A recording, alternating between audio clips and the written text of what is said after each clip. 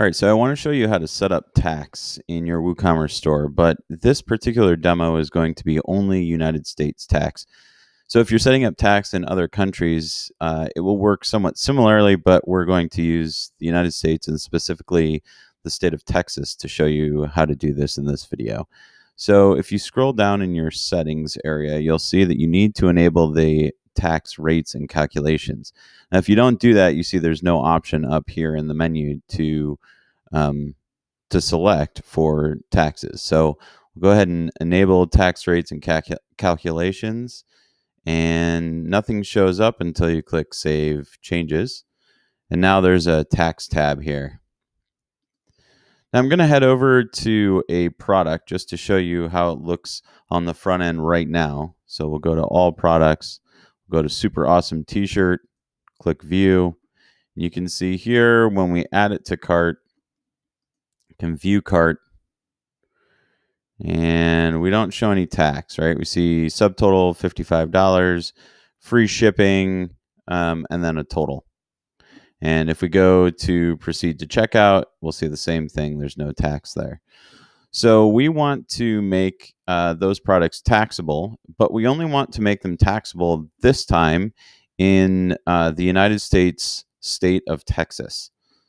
So the way I'll do that is to go back to WooCommerce, go to Settings, go to Tax. We'll go to Standard Rates. Now I'll go ahead and insert a row. And for the state code, in the United States, we have two letter state codes. So I'll put in TX. Now you could specify down to the postcode, the city, uh, even the country code. These stars mean that it will be uh, any city, any postal code, any country code. So then we'll set the rate. I think it's 6.5%. It might be different, but we'll use that for right now. We'll click Save Changes. Now you also have the option to select whether or not shipping will be taxed. Um, and that depends on your particular municipality. So we'll go back to test one. We'll go to shop. Oh, we'll go to the cart.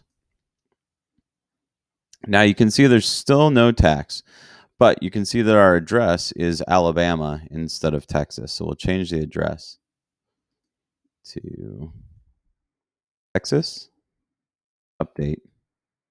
And now you can see there's 6.5% tax being applied to this particular product. And that's as easy as it is to set up tax. Now, let's say you want to set up tax, but you want to set up tax for a particular city. For instance, you have uh, different tax in Austin, Texas, um, or additional tax in Austin, Texas to the state tax. So we'll go back over to settings, tax, standard rates. This time I'm going to insert a row, and instead of changing the state code or the postal code, I'm going to insert Austin into the city, say an additional 1%. Again, I'm not sure if that's the actual amount, but we're going to do that. Okay, we have both Texas and Austin taxes in here, but we want both of them to be added to the order. We don't want them to be compounded, uh, but we do want both of them to be taken on the original cost of the goods and shipping. So to do that, we'll set a priority one and a priority two.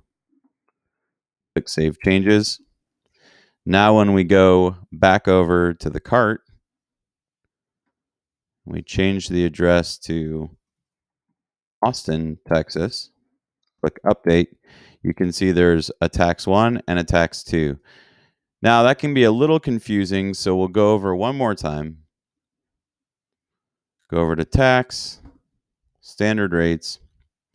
Okay, so in order to differentiate the names of the taxes at checkout, go ahead and change Texas to Texas state tax, then change the city of Austin tax to Austin tax and click save changes. Now, when we go back over to the cart, you'll see that they're labeled correctly so that people understand what type of tax they're being charged for. Uh, of course, you can head to proceed to checkout, and all of that information follows there. Anyway, that's how to set up tax in WooCommerce. Hope you enjoyed.